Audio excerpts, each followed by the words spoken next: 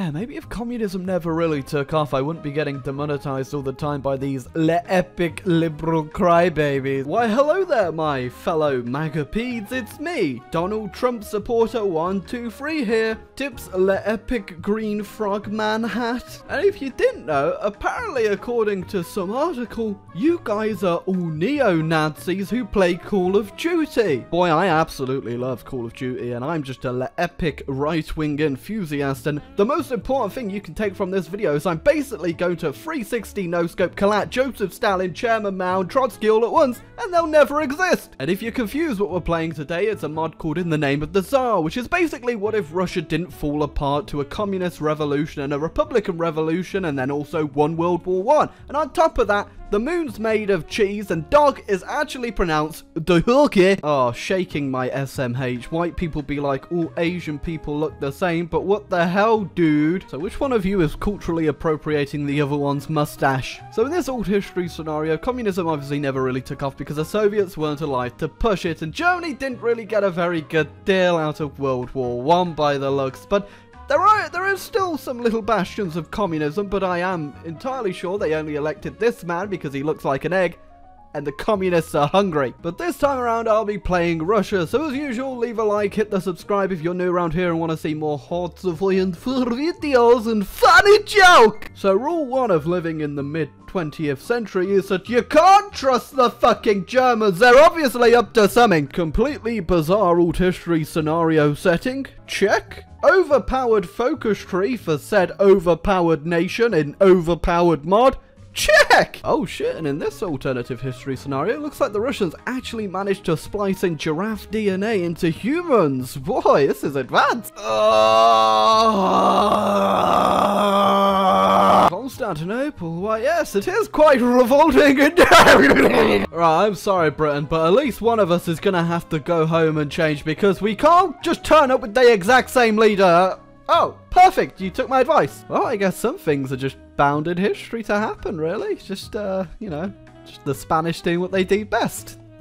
Being shit. Yeah, communism just kind of doesn't have the backing as it does in our base game scenario, aka real life history. But boy, the communists are really fucking trying to get a foothold somewhere, but it's just, it's just not gonna happen, especially since I can send six tank volunteers and a bunch of planes everywhere. Oh, Aunt Nikolai died? I don't want another king then. Jeez, my, my, that was the only reason I liked him because he had the cool beard and all. Uh, only there was a very convenient button I could press to overthrow the monarchy. Oh, how convenient. There's a button right here. Yeah, in the name of the military dictatorship doesn't really have the same ring to it as in the name of the Tsar, does it? Right, I gotta make sure these Prussians aren't up to something because they've been quiet for too long. Now, why do I get the feeling that either of these scenarios probably doesn't actually make Oh, Boris? Yeah, sure, I'll have someone called Boris in control. When has anyone called Boris ever fucked Russia?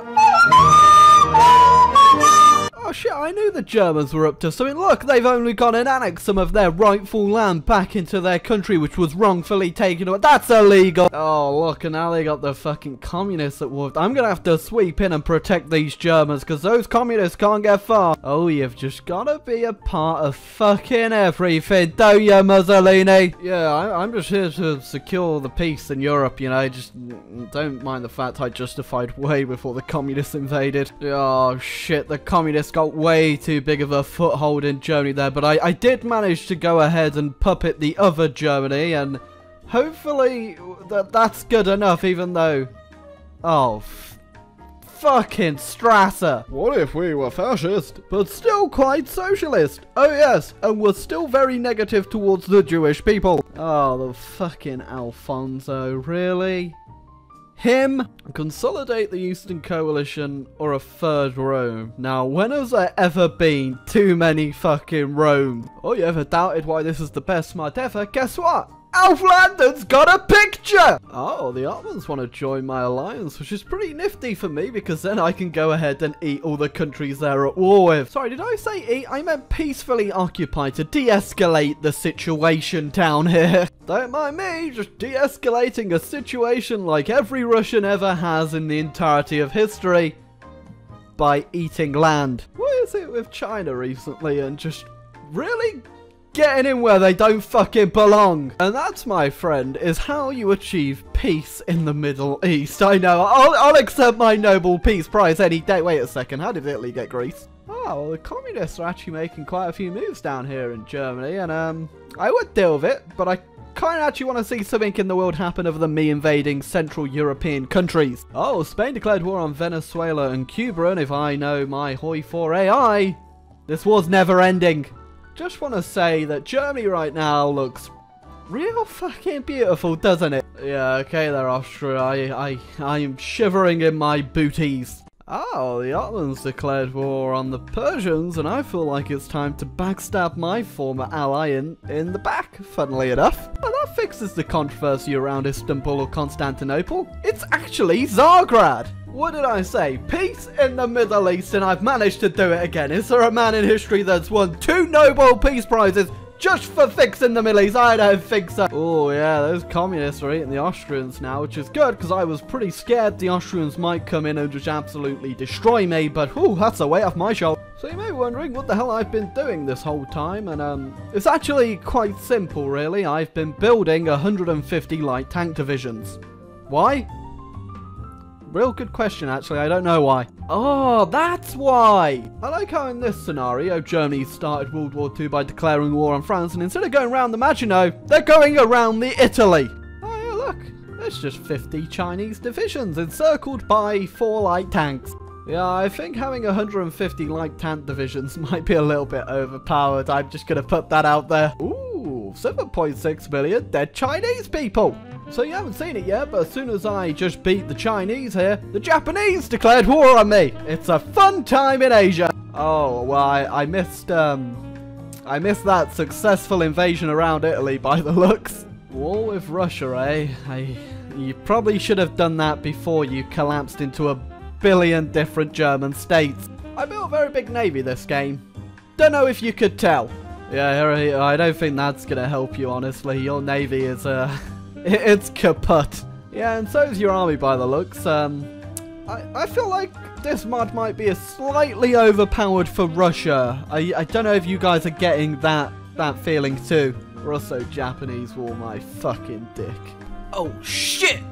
The Americans are justifying against me with War Plan Lime! The most menacing of fruits and colours. Oh, that didn't go too well for America, and they've been overthrown by the Confederate States of Huey Long Dong. What the fuck is this? Some sort of crossover episode? Well, I've no idea who I'm supposed to go to war with here, so I guess I'm just gonna mop up Germany and see what fucking happens of it. Oh, you know that war that Spain had with Venezuela? Well, the people in Germany decided to join their faction. So once again, Spain has fucked the entire world up.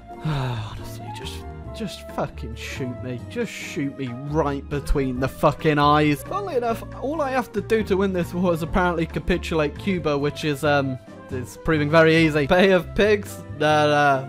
Bay of Soviets drunk on fucking vodka managing to take over your entire island with no fucking problem. Oh, no one else is gonna start World War II. I guess I'll have to fucking do it then, won't I, guys? I'm trying to be nice and peaceful. I haven't done anything bad this whole game. Yeah, Russia's just now mobilizing. Just try to forget that those 150 light tank divisions I spawned just for the hell of it. Ah, the French leading an organized and excellent defense against the Russians passing through Belgium 1949. And now we live on an island. Yeah, Again, did I mention this seems slightly overpowered mod-wise? Did did I mention... Did I... Wait, guys, did, did I say that? I can't remember. Honestly, I think that was a fair fight. Couldn't have got any fairer. Ah, hundreds of dead British sailors. Honestly, that was a pretty fun game, I won't lie. It was, um... It's definitely one of those mods that seems a bit focused a bit too much in one direction in this scenario, Russia, but it was still pretty damn fun. I don't know why Huey Longdick made an appearance. That was a bit fucking weird. Um, go back to Kaiserreich. But yeah, that was a pretty fun game. I had a lot. I had a lot of fun, honestly, just being super overpowered, which is always the best case for these mods because people were like, "Oh, well, they're not that fun because it's not realistic. It's not Kaiserreich." Well, no, it was. It's, it's still fun just to pub stomp on fucking the dumb AI. But yeah, I hope you enjoyed the video nonetheless, and I hope you leave a like and hit the subscribe button if you're new around here and want to see some more Hearts of Iron 4 content on this channel. And most importantly, I need to just let you guys know that whatever any article says, You're not a bunch of Nazis. You're actually just a bunch of stupid fucking idiots. But you're my stupid fucking idiots, and I love you nonetheless.